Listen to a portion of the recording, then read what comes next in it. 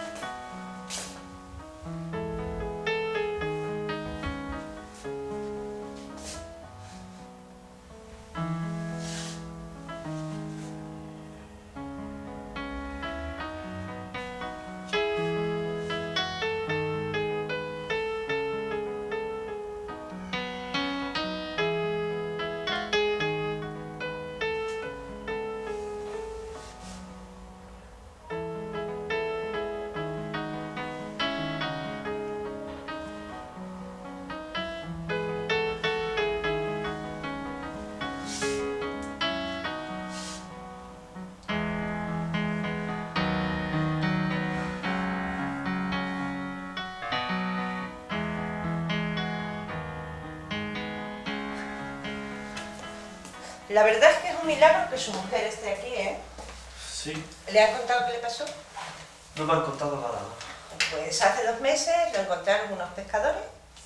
Estaba inconsciente, sin pulso, intentaron reanimarla, lo consiguieron y durante este tiempo ha estado allí con ellos.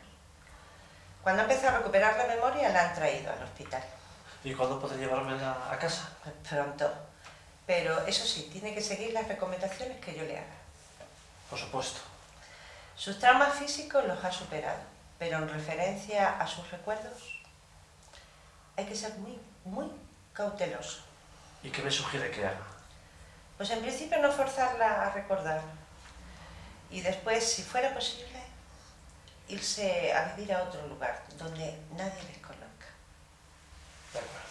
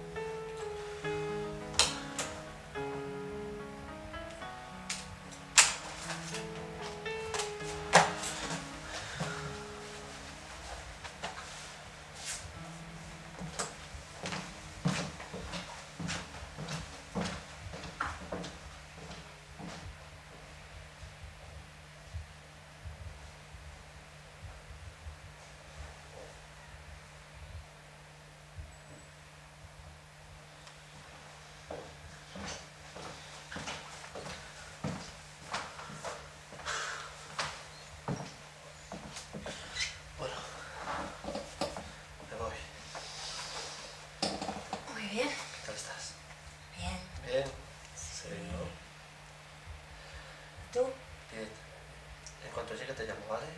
No te preocupes. ¿Llevas todo? Sí, ¿Todo lo que necesitas? todo. Bueno.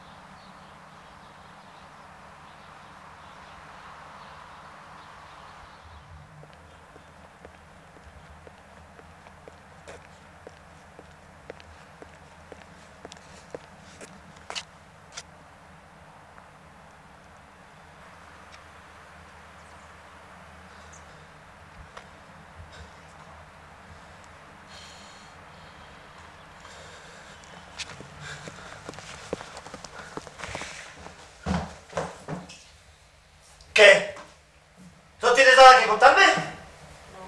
¿Cómo que no? ¿Qué os pensabais? ¿Que yo era gilipollas? ¿Que no me iba a enterar de nada o qué? ¿Quién es? ¿Pero de qué vais? ¿Eh? Dime, ¿de qué vais? ¿Quién es? ¿Cómo que quién es? ¿Pero qué os pensáis? ¿Que soy ciego? ¿Que no me voy a enterar? ¿Quién era ese hombre? ¿Qué hombre? ¿Cómo que qué hombre con el que estabas hablando allá abajo? ¿Quién era ese hombre? ¡Dime! Pues poco sé de él, me ha parado por la calle. Me ha saludado, no sé más. ¿Cómo que no sabes más? ¿Seguro? ¿Quién era ese hombre? Ese hombre me conocía y me dijo que te conocía a ti, por eso me paré a hablar con él en la calle. Estoy diciendo la verdad. No entiendo por qué te pones así. ¿No lo conocías de nada? No. ¿Quién es ese hombre? ¿Por qué estás así? ¿Estás bien?